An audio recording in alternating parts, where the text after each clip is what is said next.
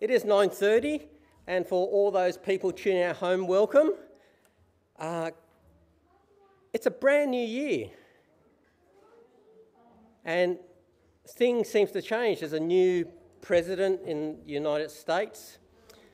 Um, the things change constantly, but then things remain the same as well.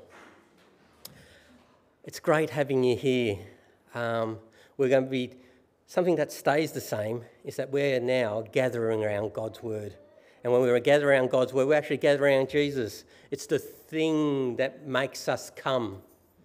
Without Jesus, this is a bizarre meeting.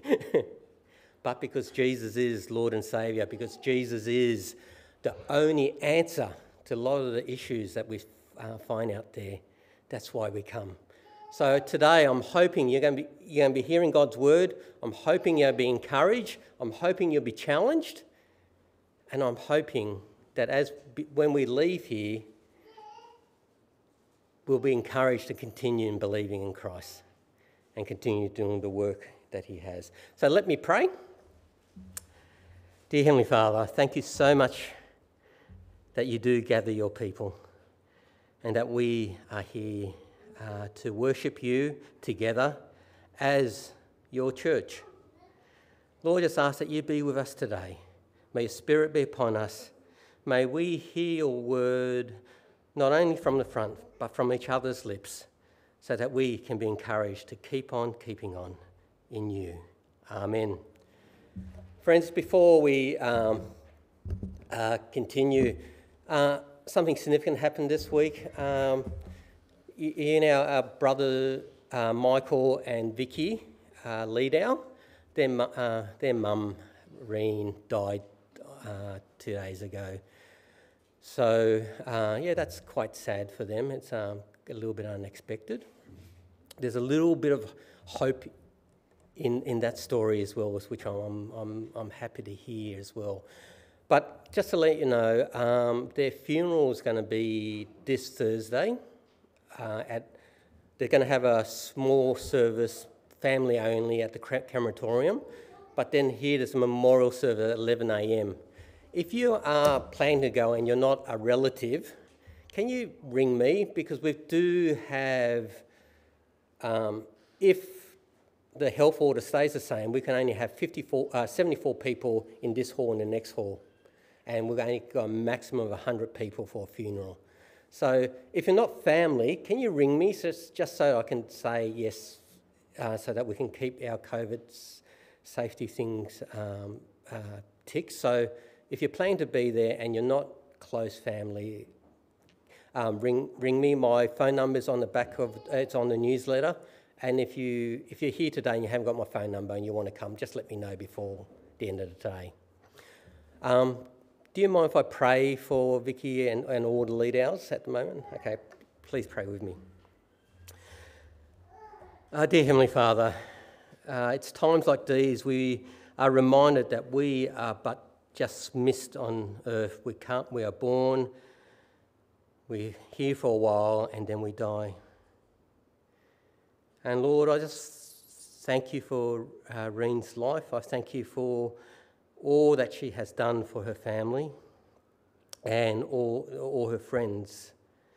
But Lord, in this time, may I, I just pray for Mike and Vicky and uh, Bob in this time of grief and this time of shock. Lord, I just ask that you, uh, you comfort them, that your promise of eternal life is ringing in their ears. Lord, in these moments, there is no hope except hope in you. So, Lord, I just pray that you be with the whole Lead Our family and those that are close to them. In Jesus' name, Amen. Friends, we're going to start, we're going to continue our James series. This is the last um, uh, one in James, except that we're going to be doing James next week, but it's the house party. It's going to be a little bit different. But in terms of reading it every chapter. This will be the, uh, the last week of doing that. So uh, Steve Gribble is going to come up and read James 1. Um, and so, again, if it helps, close your eyes and listen. Uh, if it helps, if you like reading, follow along reading.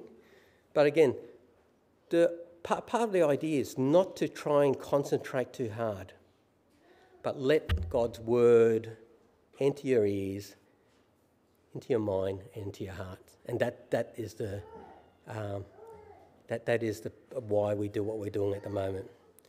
Okay, so Steve, if you, as Steve's come up, let me pray. Dear Heavenly Father, thank you so much that you speak to us, that you have not left us uh, in the dark, but you've come and revealed yourself to us. Lord, as we read your word today, may we hear your voice. Amen. Thank you, Steve.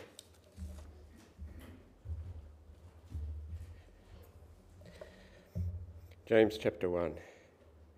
James, a servant of God and of the Lord Jesus Christ, to the twelve tribes scattered among the nations, greetings. Consider it pure joy, my brothers and sisters, whenever you face trials of many kinds, because you know that the testing of your faith produces perseverance. Let perseverance finish its work, so that you may be mature and complete not lacking anything. If any of you lacks wisdom, you should ask God, who gives generously to all without finding fault, and it will be given to you.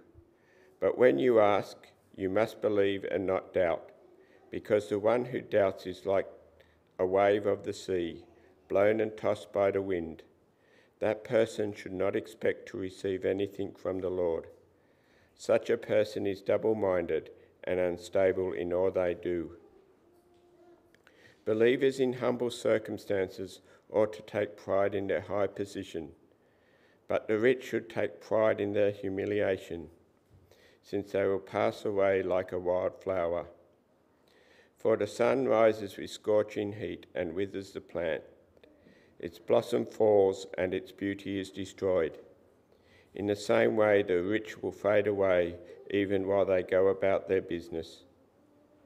Blessed is the one who perseveres under trial, because having stood the test, that person will receive the crown of life that the Lord has promised to those who love him. When tempted, no one should say, God is tempting me, for God cannot be tempted by evil, nor does he tempt anyone. But each person is tempted when they are dragged away by their own evil desire and enticed. Then, after desire has conceived, it gives birth to sin, and sin, when it is fully grown, gives birth to death. Don't be deceived, my dear brothers and sisters. Every good and perfect gift is from above, coming down from the Father of the heavenly lights, who does not change like shifting shadows. He chose to give us birth through the word of truth, that we might be a kind of firstfruits of all he has created. My dear brothers and sisters, take note of this. Everyone should be quick to listen, slow to speak, and slow to become angry, because human anger does not produce the righteousness that God desires. Therefore, Get rid of all moral filth and the evil that is so prevalent, and humbly accept the word planted, on you, planted in you, which, you can, which can save you. Do not merely listen to the word and so deceive yourself. Do what it says. Anyone who listens to the word but does not do what it says is like someone who looks at his face in a mirror and after looking at himself goes away and immediately forgets what he looks like. But whoever looks intently into the perfect law that gives freedom and continues in it, not forgetting what they have heard, but doing it, they will be blessed in what they do. Those who consider themselves religious and yet do not keep a tight rein on their tongues deceive themselves, and their religion is worthless. Religion that our Father accepts as pure and faultless is this to look after orphans and widows in their distress, and to keep oneself from being polluted by the world.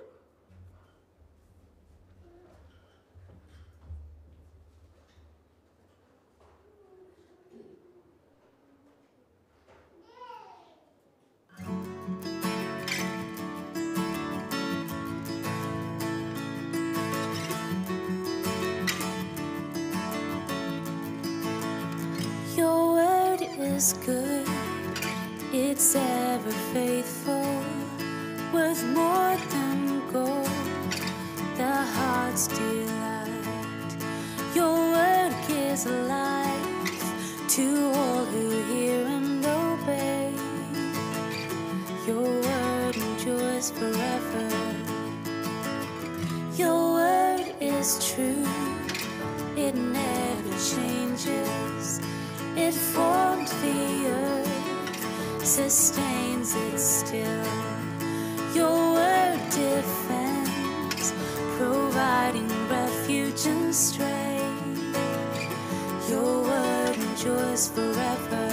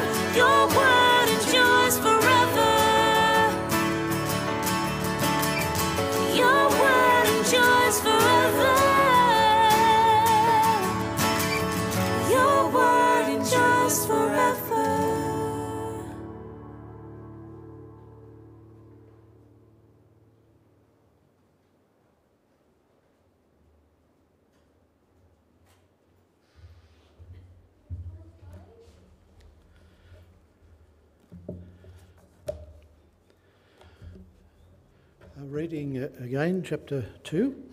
Uh, my brothers and sisters, believers in our glorious Lord Jesus Christ must not show favouritism. Suppose a man comes into your meeting wearing a gold ring and fine clothes, and a poor man in filthy clothes also comes in.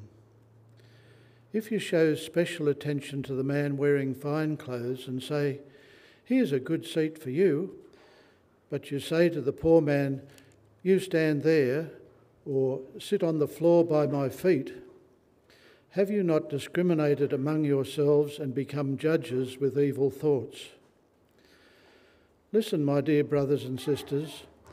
Has not God chosen those who are poor in the eyes of the world to be rich in faith and to inherit the kingdom he promised those who love him?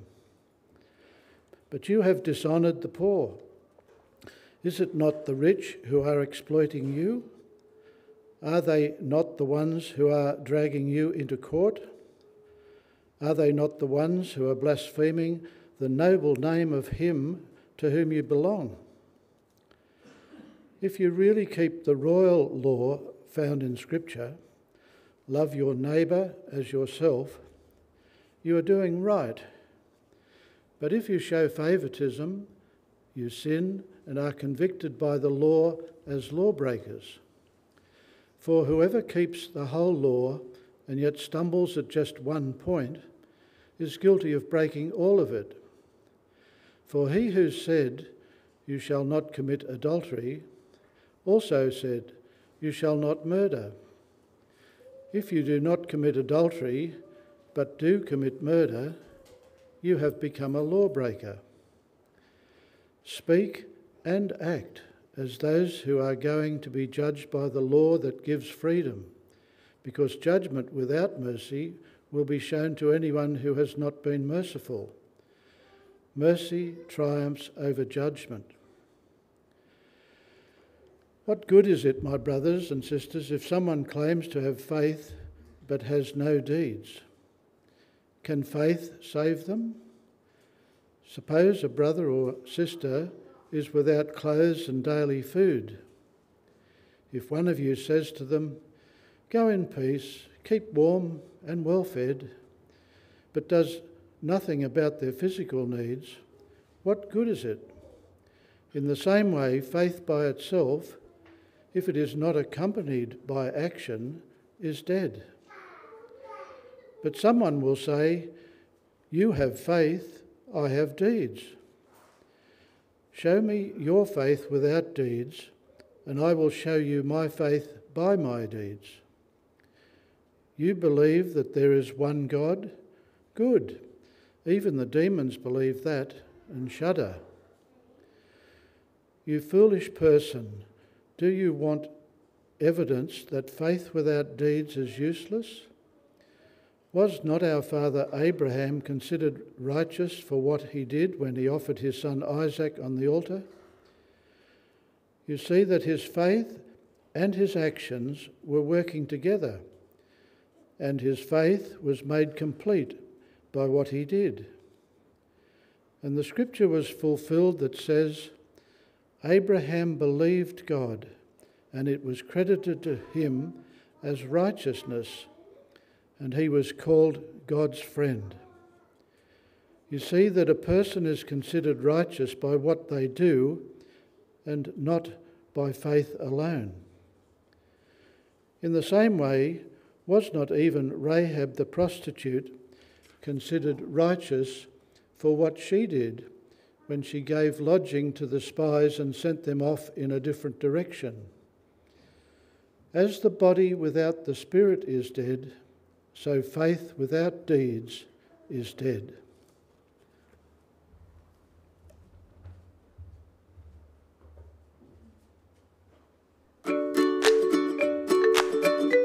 Prayer is a conversation with God, and a conversation is just talking.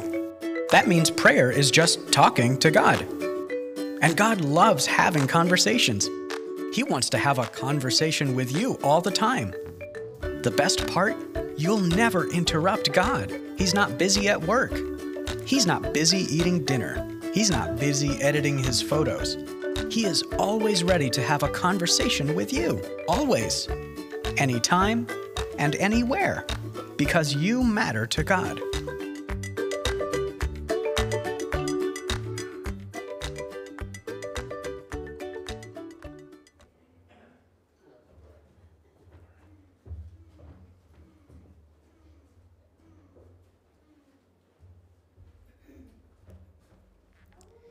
Continue reading James.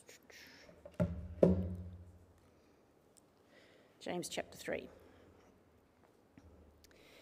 Not many of you should become teachers, my fellow believers, because you know that we who teach will be judged more strictly. We all stumble in many ways. Anyone who is never at fault in what they say is perfect, able to keep their whole body in check. When we put bits into the mouths of horses to make them obey us, we can turn the whole animal. Or take sheep, ships, not sheep, ships as an example. Although they are so large and are driven by strong winds, they are steered by a very small rudder wherever the pilot wants to go. Likewise, the tongue is a small part of the body, but it makes great boasts. Consider what a great forest is set on fire by a small spark. The tongue also is a fire, a world of evil among the parts of the body.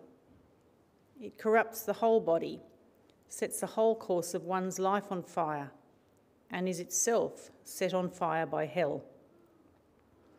All kinds of animals, birds, reptiles, and sea creatures are being tamed and have been tamed by mankind but no human being can tame the tongue. It is a restless evil, full of deadly poison. With the tongue we praise our Lord and Father, and with it we curse human beings who have been made in God's likeness. Out of the same mouth come praise and cursing. My brothers and sisters, this should not be. Can both fresh water and salt water flow from the same spring? My brothers and sisters, can a fig tree bear olives or a grapevine bear figs? Neither can a salt spring produce fresh water. Who is wise and understanding among you? Let them show it by their good life, by deeds done in the humility that comes from wisdom. But if you harbour bitter envy and selfish ambition in your hearts, do not boast about it or deny the truth. Such wisdom does not come down from heaven, but is earthly, unspiritual, demonic.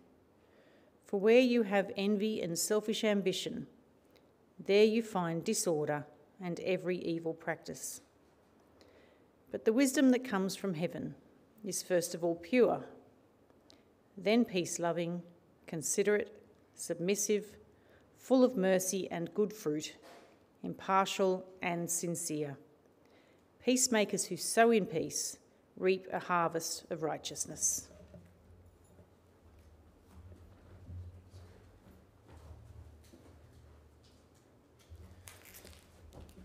Well, good morning, everyone. Uh, nice to see everyone. Uh, in, fact, uh, that's what I want to speak about. Um, it's great that so many of us are able to get to this service. But as we are thinking about uh, how we go forward this year, um, we're reaching our capacity. And so we've been thinking for a little while about how we might structure things um, in a sustainable way going forward. And what I wanted to uh, invite you to do this morning is to think, think with me about uh, whether uh, this proposal would be workable. Um, and that is that we uh, more or less revert to our pre COVID timing for services an early service and a 10 a.m. service, roughly, and a 5 p.m. service. Um, that I think will allow us to do a number of things. Um, uh, first of all, uh, to love one another by providing, I think, at the earlier service an environment that's uh, for uh, perhaps people who uh, have uh, perhaps uh, some compromised immune or they're, they're concerned um, most primarily about uh, their mixing with others. Uh, because at the moment there are a number of families who choose to not come along because they can't be sure of what their kids will or won't be able to cope with. And the parents are concerned that uh, kids mixing with older people or people with compromised immune systems um, might be a problem. So it seems to me by uh, perhaps separating out those two groups and having having our eight o'clock or thereabouts service um, aimed at uh, those who are particularly have that need, and that would free up room for kids to come back at ten. One of our problems, though, is that between our services we need to clean this area. In fact, all of our gates and and and uh, things. So we're actually going to need a little bit more time, I think, between the services. So, what we're thinking about at the moment incorporates that. It also incorporates the problem we've been having with Facebook, uh, Facebook, YouTube, sorry, Facebook. Um, they've been uh, cutting off our stream at 10 o'clock. Um, and it seems like a whole bunch of churches or other people are starting to fa- uh, uh, starting to YouTube at that time. So we're thinking if we try to start on the hour, we'd get a full hour in before they chopped us off again. So what I'm thinking about is eight o'clock, ten o'clock, and that would give us enough time to clean between the services. So would you ever think about that? Let me know. I want to stress that I haven't pulled the trigger on this. We're not definitely doing it yet. And even if we were to pull the trigger on it, we just need a few weeks to get that in place. So it probably wouldn't happen until the end of February in any case. This time of year, we're all kind of gearing up. Yep, school starts this week. Can I hear it? Um, um, so if you've got uh, particular uh, comments about that, I'll be hanging around outside or send me an email during the week. Uh, love to hear what you've got to think about that. Um, and 5 pm as well. Of course, we have more capacity this year in terms of congregational leadership because Tom has come on board. And it's great to, be, uh, great to hear um, Theo and Sebastian up there. Um, Tom's actually away at the moment at a leadership in training camp, and it's great that he's been able to plug our, our parish into that, um, uh, that great uh, organisation as well. He'll be back uh, this afternoon. Uh, house party next weekend. Church will be on as normal. 9.30am and uh, John will be taking that uh, and I'll be trying to be in two places at once. Um, we'll have a recorded sermon here and we'll have a very similar sermon uh, down at the house party as well. If you're going on the house party, uh, looking, I'm looking forward to it. You should have got an email about that. If you haven't received an email, please let myself or Leah know. Um, I think that's probably it, John. Thanks. Just on that, um, normally school starts next week, or actually starts on the Friday, but um, we would normally start our youth group on that Friday. But because of the house party, we're going to delay it a week. So um, parents with kids going to youth group, uh, yeah, youth group starts the week after. And also kids' church stuff will start the week after as well, so that'll all gear up. So, um, so yeah, so that's um, hopefully we've got a, a, new and exciting team. And as that comes, we'll, we'll be praying and letting people know what's happening. Okay, next Bible reading. Thank you, Kathy.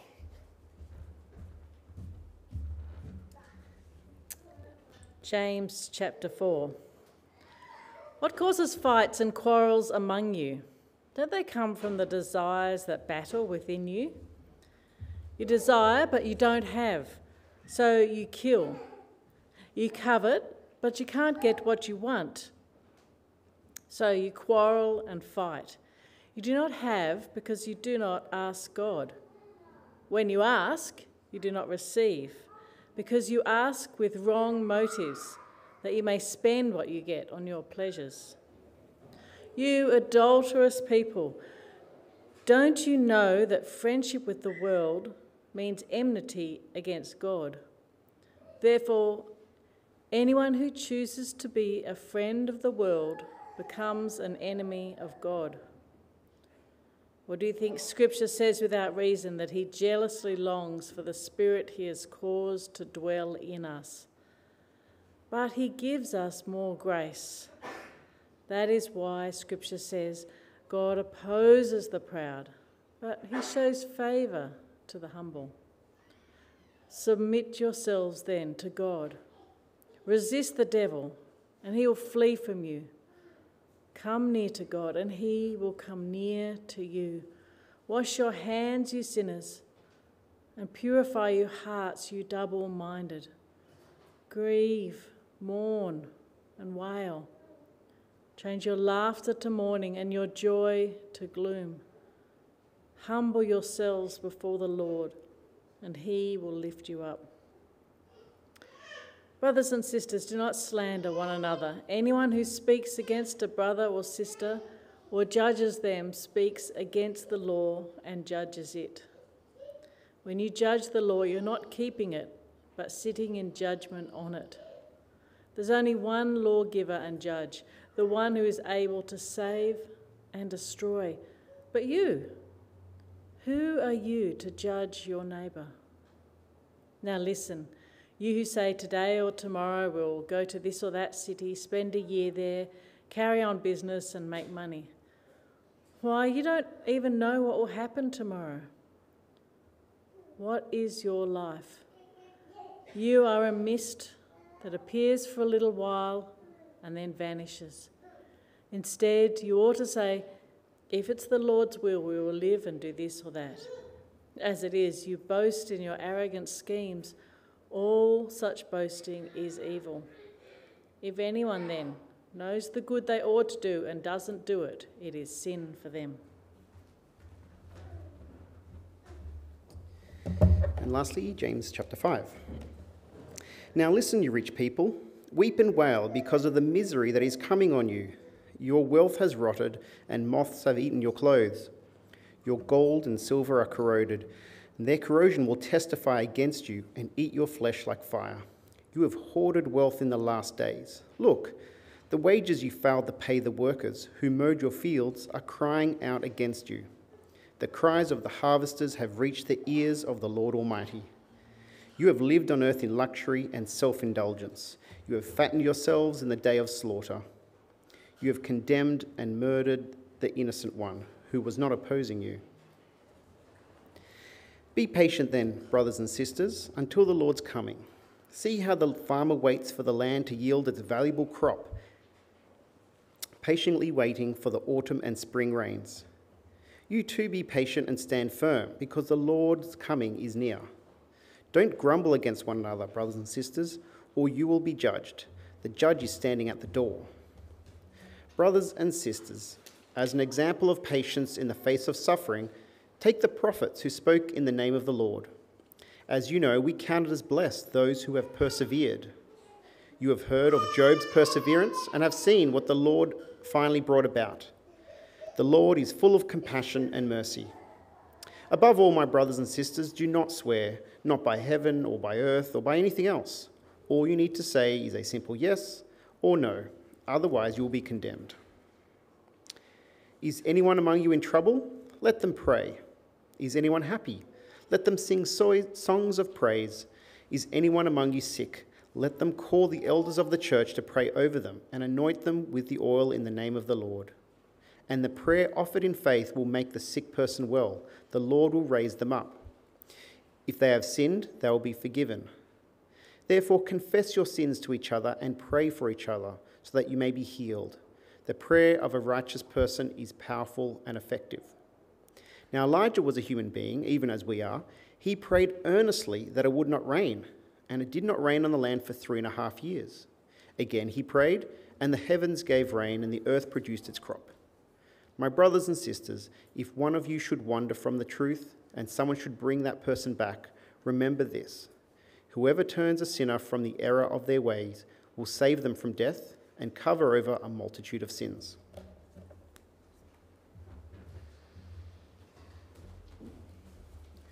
I want you to pray with me. Father, as we come uh, towards the end of this book of James, would you continue to increase, uh, to give us more grace? Uh, help us to take on board what you're saying to us, that we might live uh, as Jesus followers, and that we might help others to come and find the great joy it is to know Him and to be changed by Him. And we pray in Jesus' name. Amen. Now, uh, today I think we come to what's the fundamental, the bedrock issue that James has been driving at uh, in this letter, and that is our God complex or spiritual pride.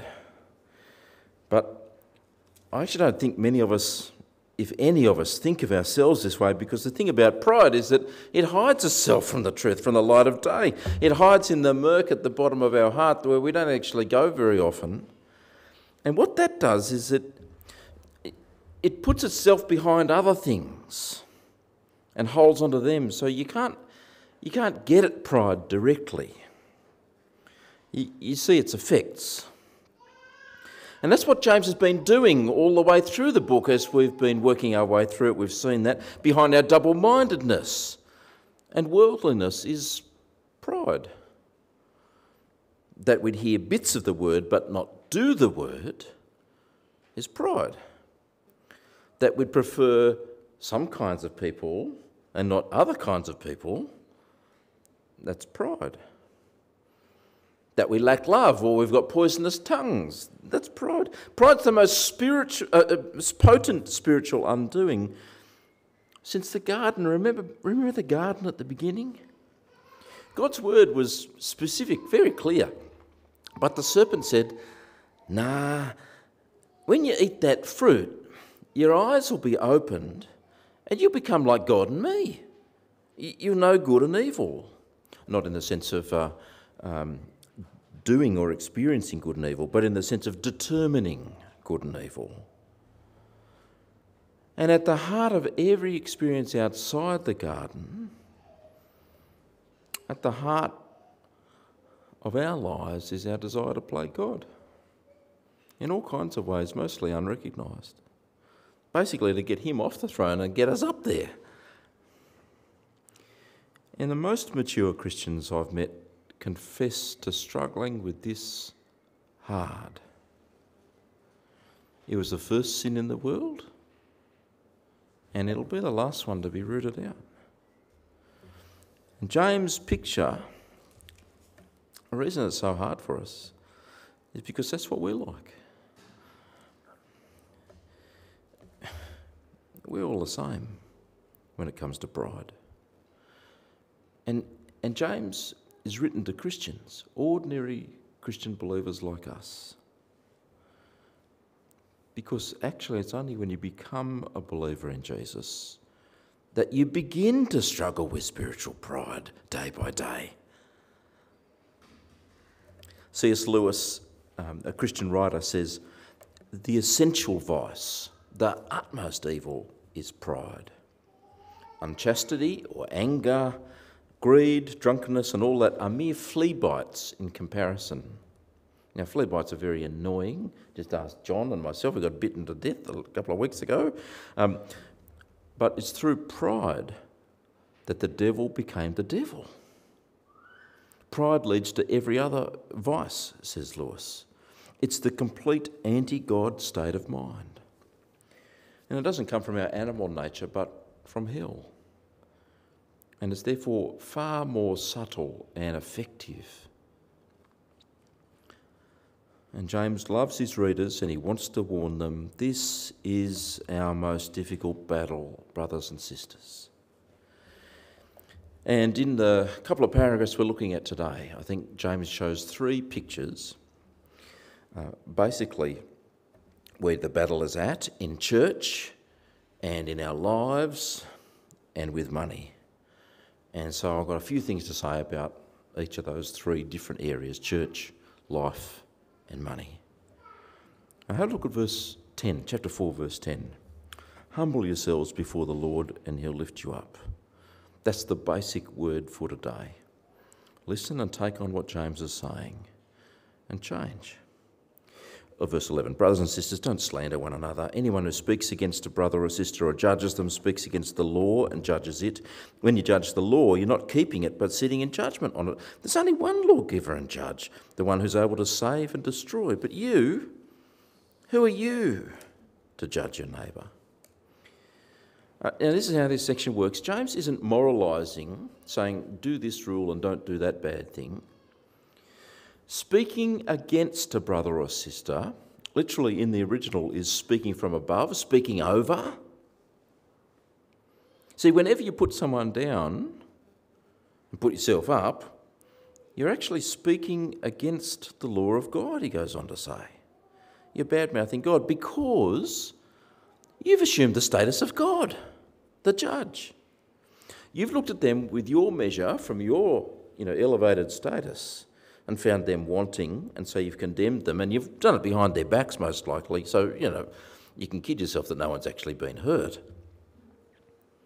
And James says the only way to do that is if you push God off the throne and you climb up there yourself, I got this one, God. I'll, I'll set the standard.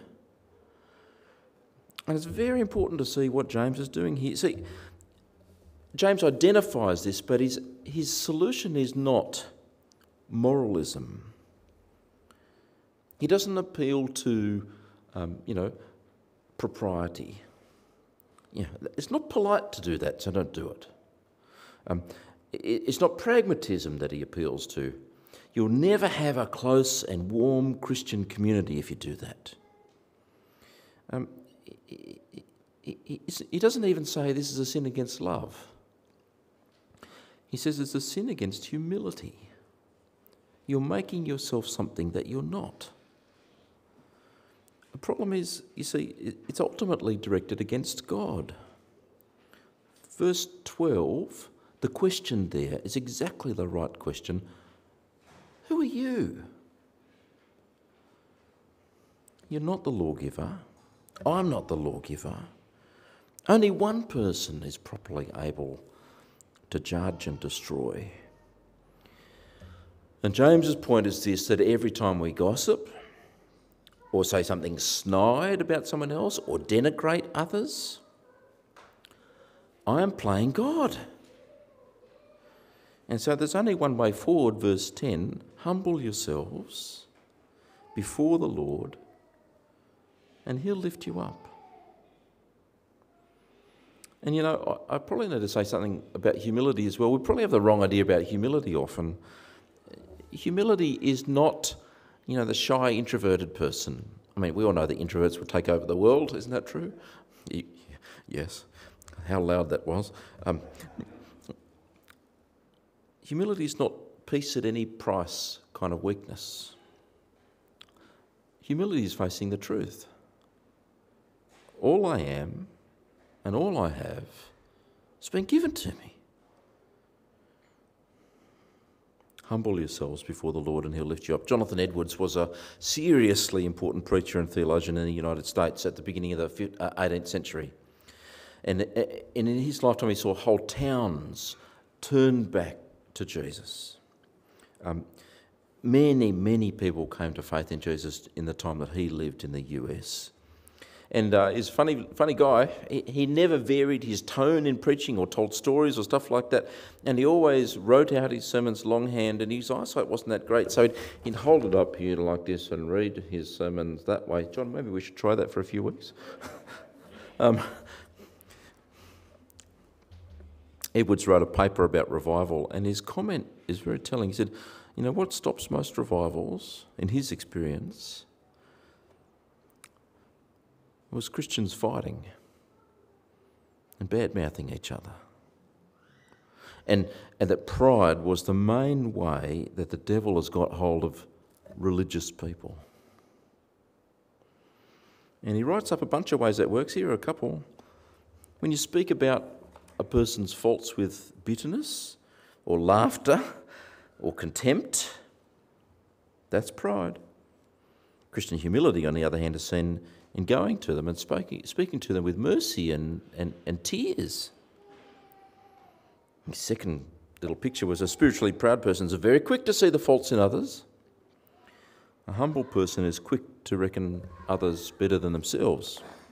And they're so busy with God's things and aware of the evil in their own hearts that they think no one's got more reason to thank God than they do.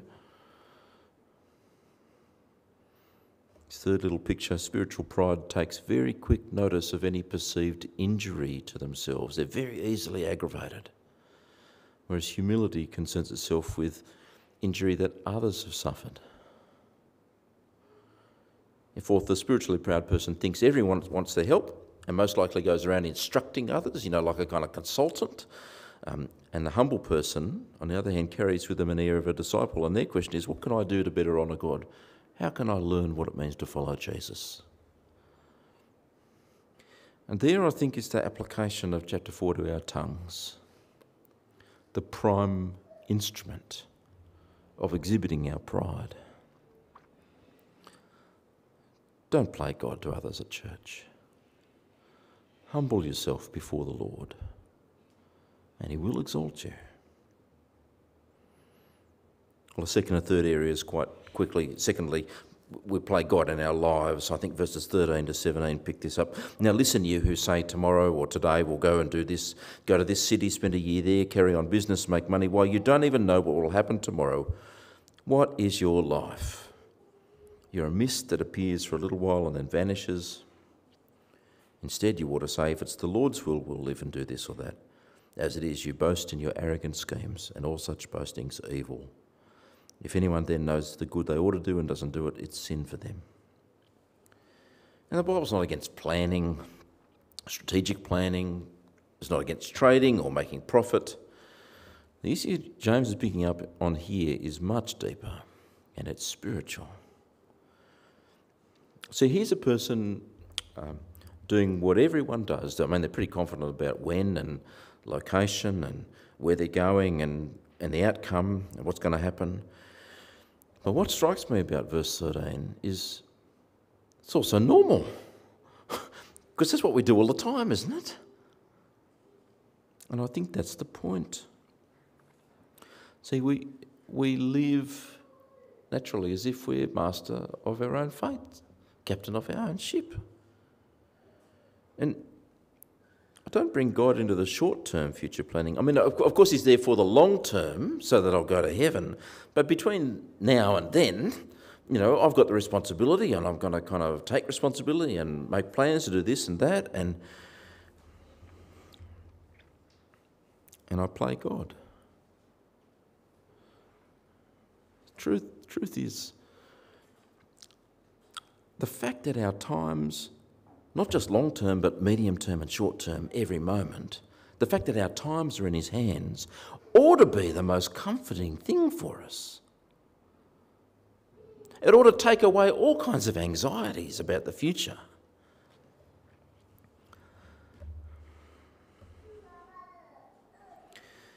Oh, I think that sins of spiritual pride are much more likely to be sins of omission. We just leave God out leave God out of our thinking. Or thirdly, playing God with wealth. Spiritual pride shows how we play God in church, with our lives, and lastly, with wealth. James chapter 5 starts off with these words Now listen, you rich people, weep and wail because of the misery that's coming on you.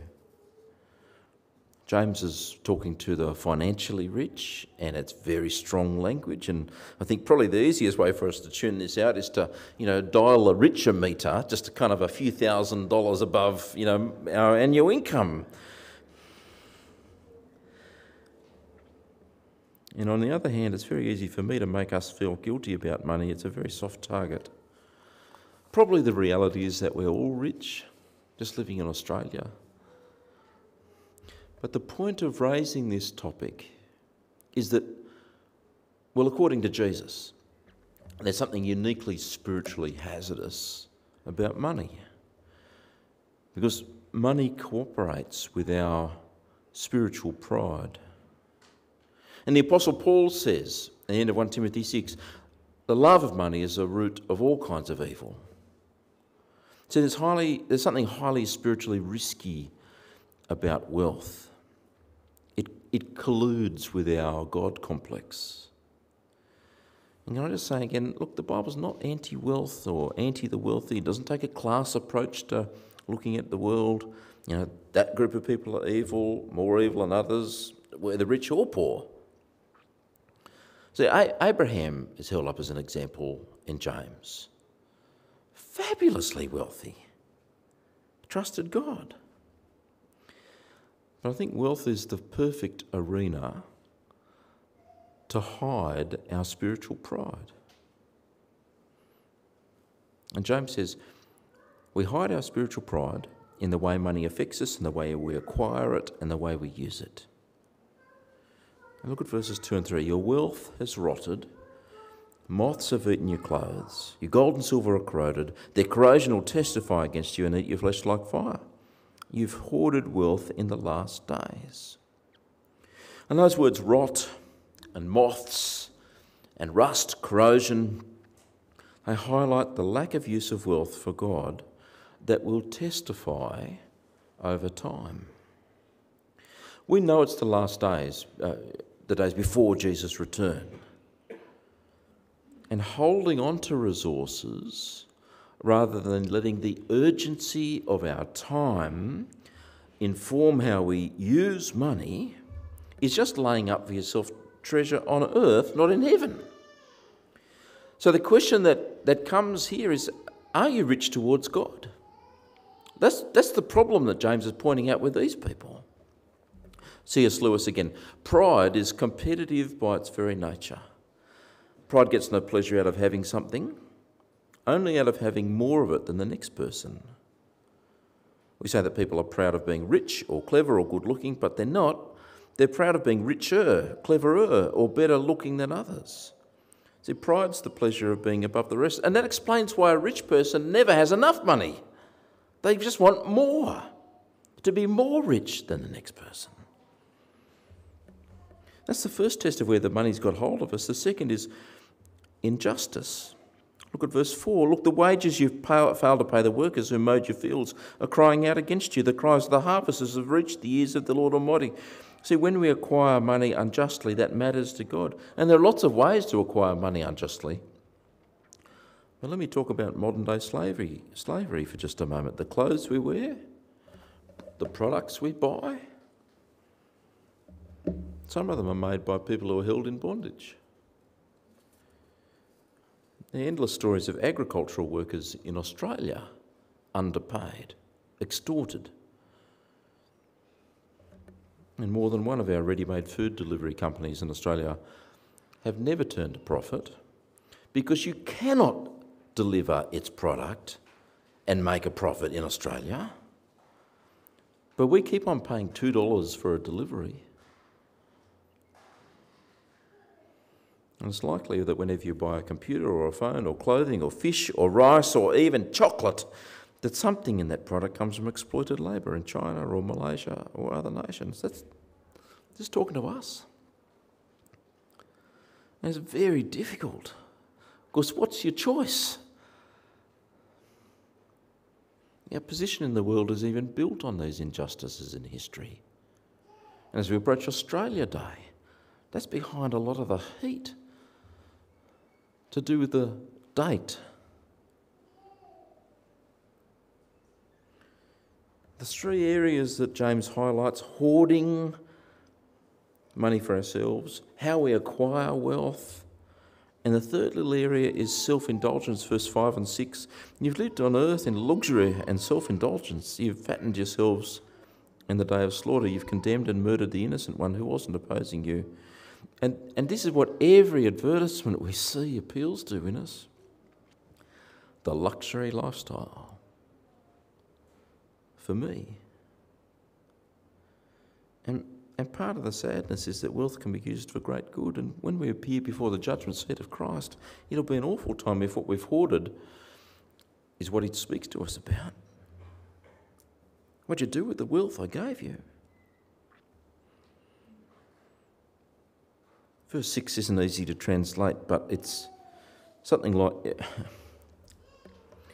Have you not murdered and condemned the righteous one? Does he not oppose you? And I think that's probably speaking about Jesus, actually.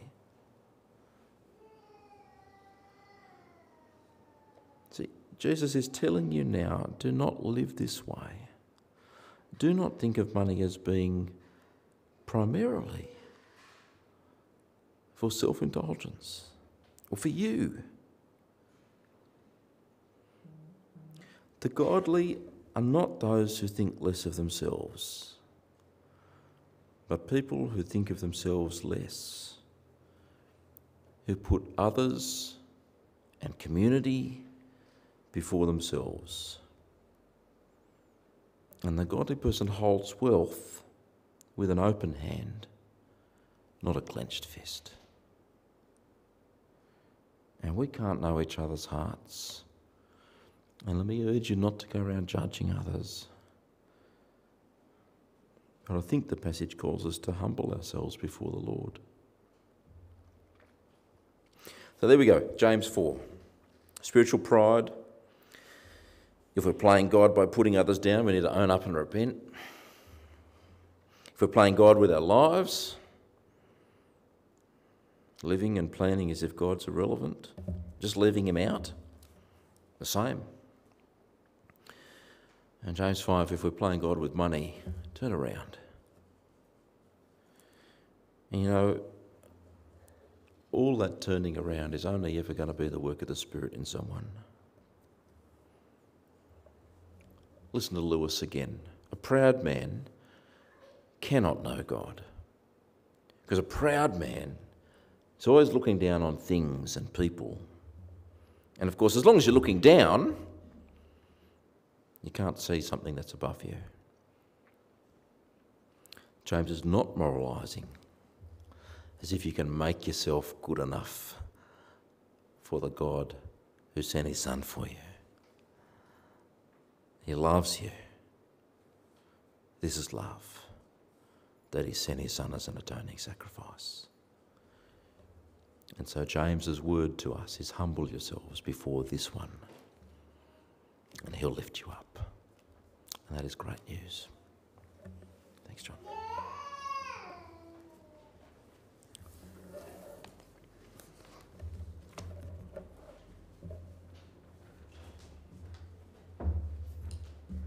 We're going into a time of prayer now. Irene, are you down? Thank you.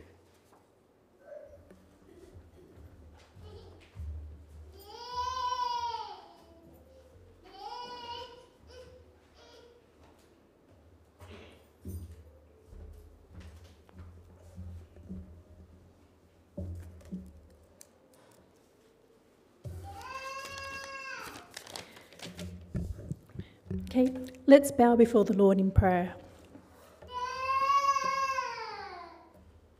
Almighty and everlasting God, we pray that you will mercifully look upon our weaknesses. Please help us as we face the dangers of this world and stretch out your right hand to help us and defend us. We pray that you will give us the gift of joy in our service of God and in our service of people. Almighty and eternal God, we know that you alone are the source of power and influence. We ask that you give us strength and joy in serving you as followers of Jesus Christ. We thank you that the restrictions that are in place for Sydney, Melbourne, and Brisbane have worked to suppress the spread of the virus in each of these cities, and we pray that this good news may continue.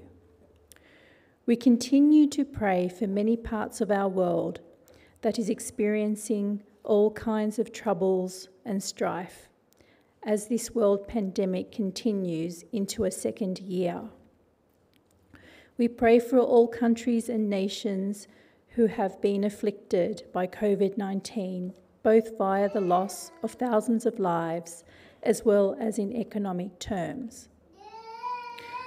We pray especially for the current worst affected countries impacted by the virus the United States of America, India, Brazil, Russia, the United Kingdom, France, Turkey, Italy, Spain, Colombia, and Germany, as well as many more countries around the world where the virus has continued to spread. We thank you that the spread of the virus has lessened in some countries which had previously been impacted. We pray that the approved vaccines will be effectively administered in these countries and work to eradicate the spread of the virus in communities. We pray for our neighbour Indonesia as it has experienced a series of fatal natural disasters, earthquakes, landslides, and volcanic eruptions this month. Many lives have been lost, and tens of thousands of people have been impacted and displaced. As Indonesia is already badly affected by the coronavirus, these natural disasters place extra burdens on this country and its government. We ask that you will keep your church in Indonesia strong as these trials continue and that you will use this period of great tragedy and trial for good to bring people to knowledge of yourself. We also thank you that there was a peaceful transition of government in the United States. And we pray that this new administration will seek to effectively address the deep rooted social and economic divisions that underlie American society. Again, we ask you, Lord God, to restrain Satan's stronghold in countries and nations around the world, including our own, and use for the, and use for the glory of your name for good everything that Satan intends for harm. We ask you in your goodness, Lord, to comfort and sustain all who, who in this transitory and fragile life are in any kind of trouble, sorrow, need, sickness, and other adversity. We take the time now to bring to you in prayer those that we know who have been impacted by the virus and its effects on business and society, relatives, strangers, friends, and neighbours who are sick or suffering before you. Gracious Father, have mercy on their lives and use us to bring comfort to them. In life and action, may we love our neighbours as we love ourselves. May we seek to live reconciled lives with each other and be the first to forgive if we feel that we have been harmed in any way. We ask all this through Jesus Christ, your Son, who lives and reigns with you and the Holy Spirit forever and ever. Amen. Let's now say the Lord's Prayer together. Our Father in heaven, hallowed be your name. Your kingdom come, your will be done on earth as it is in heaven. Give us today our daily bread Forgive us our sins as we forgive those who sin against us. Lead us not into temptation, but deliver us from evil. For the kingdom, the power, and the glory are yours, now and forever. Amen.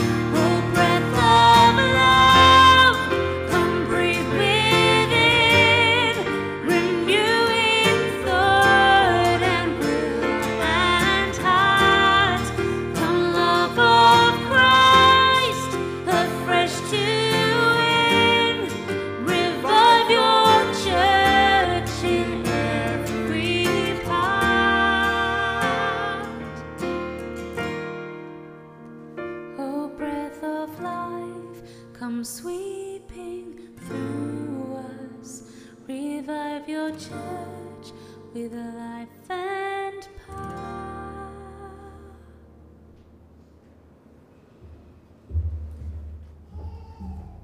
Dear friends, that brings us to the end of uh, church formally. Uh, we're going to uh, break up. Can, can I please ask you have few conversations but deeper rather than lots of conversations superficially? Um, another challenge I'd like to give you this week. We can't gather normally, so community is hard. So I know some of you are doing it already, and I thank you for that. But if you haven't been, think of someone to ring t- this week. Ask them how they're going. Ask them how they're going with the Lord. So, again, just this week, remember, church does, uh, our Sundays don't function like it used to. We need to make up for it during the week. So, and guess what? We all have to do that. So, can I challenge you to do that? Okay, before we finish, may the peace of God, which trans all understanding, guard your hearts and your minds in Christ Jesus. And may the blessing of God Almighty, Father, Son, and Holy Spirit be with you and remain with you always. Amen. Friends, have a great week. And remember, next week we will have 9.30 service here, uh, and it's also going to be communion. So, uh, so please, uh, and communion will also be done at a house party as well. Sorry?